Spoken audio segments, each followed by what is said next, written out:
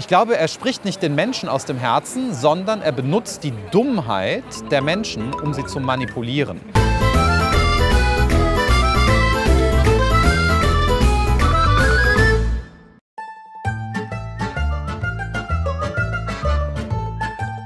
Ja, es kommt häufiger vor, als man denkt, dass Politiker die Wahrheit verdrehen. Wenn man jetzt den US-Wahlkampf anschaut, Donald Trump gehört dazu. Ja, Donald Trump ist natürlich ein besonders krasses Beispiel für die Gefahr, dass Demokratie benutzt wird von Demagogen. Was ist ein Demagoge? Ein Demagoge ist jemand, der die Wahrheit verdreht, weil er glaubt, politischer Erfolg ist nichts weiteres als das Sammeln von Stimmen, egal wofür. Aber die Menschen glauben ihn, er spricht ihnen aus dem Herzen. Ich glaube, er spricht nicht den Menschen aus dem Herzen, sondern er benutzt die Dummheit der Menschen, um sie zu manipulieren. Und das ist überhaupt gar keine demokratische Haltung. Ja? Äh, denn Demokratie beruht unter anderem darauf, dass man Tatsachen anerkennt und die Einsicht in Tatsachen befördert. Das ist ja einer der Gründe, warum wir ein ausdifferenziertes äh, gesellschaftliches System haben, in dem Technologie, Wissenschaft, Universität und Schule eine so wichtige Rolle spielen und insbesondere ja auch vom Staat finanziert werden.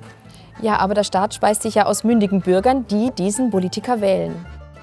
Deswegen ist es ja auch eine Aufgabe des Staates, die wir zum Glück mehr oder weniger gut wahrnehmen in unserer Republik, dafür zu sorgen, dass die Bürger Zugang haben zur Bildung. Das ist genau die Aufgabe des Staates, möglichst nach Chancengleichheit auf der Bildungsebene zu suchen. Und zwar nicht einfach nur, weil der Staat so nett ist zu seinen Bürgerinnen und Bürgern, sondern weil es wesentlich dafür ist, dass wir ein solches System wie die Demokratie, eine offene Gesellschaft, äh, weiterhaben werden. Das heißt, wenn die US-Bürger jetzt Donald Trump wählen, dann hat die Bildung versagt.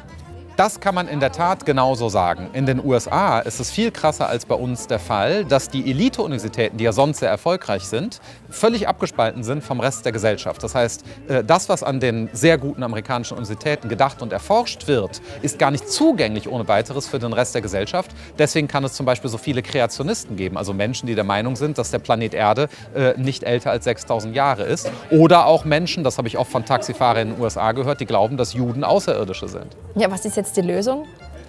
Die Lösung äh, ist ganz klar die, dass man noch mehr Chancengleichheit schafft auf der Ebene der Bildung und politische und wissenschaftliche Aufklärung betreibt. Und wir dürfen die Universitäten nicht vom Rest der Gesellschaft abschotten. Es ist höchst problematisch, dass in Deutschland der Ausdruck Elite-Universität eingeführt wurde zur Verbesserung der Forschung. Warum nennen wir das nicht einfach verbesserte Forschung? Warum das Wort Elite?